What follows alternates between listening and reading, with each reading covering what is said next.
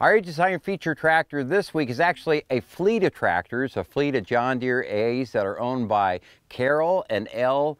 Etchen of Clear Lake, Iowa.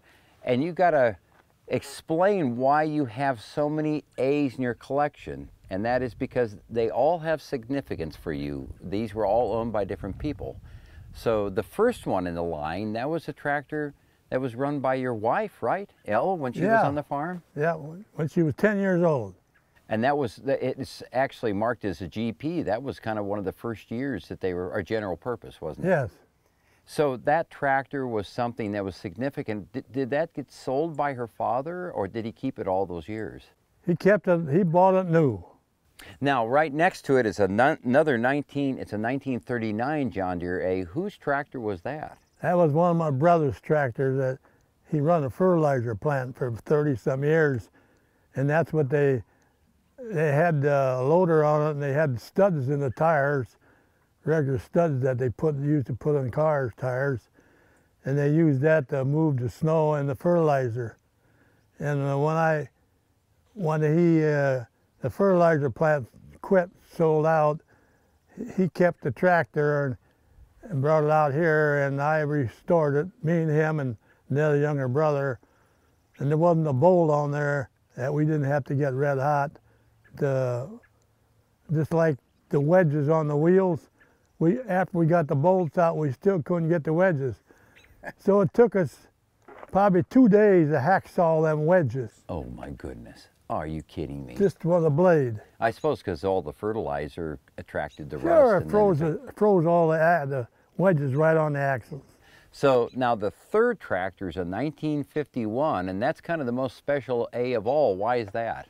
Because that's what I bought new and I started farming with it.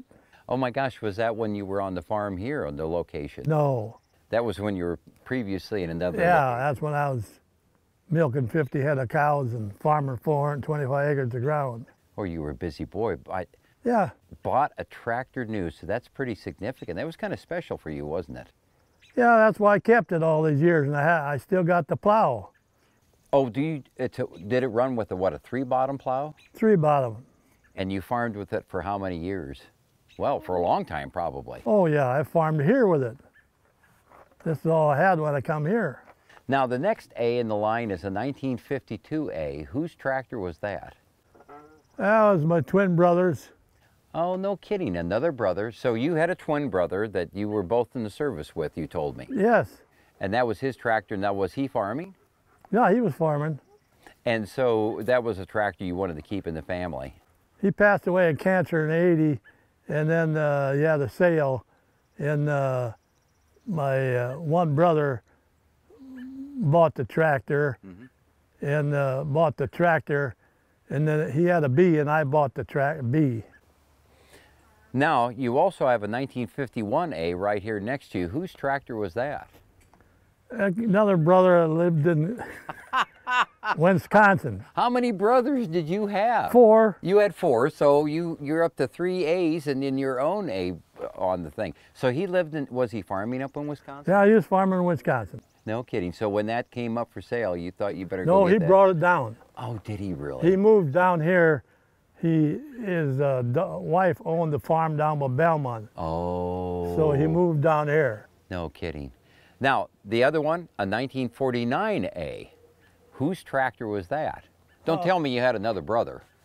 I thought you were out of brothers by now. No, we still got another. Bro- no, I, I shelled corn for a guy over by Mason City, so he got me over a shell of corn, and then he'd give me these two A John Deere's for shelling the corn.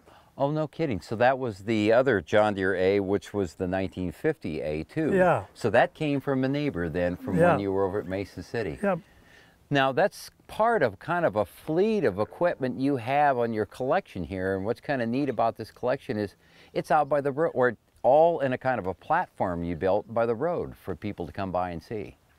Uh, well, this would be a steep hillside, and this is, they cleaned the road ditch out, and I made them haul all the dirt up here so I could make this. Oh my God. And then I had a landscaper come and put the wall in. And so this is something where people just stop by and take a look at your collection. Yeah, they come, they come every week.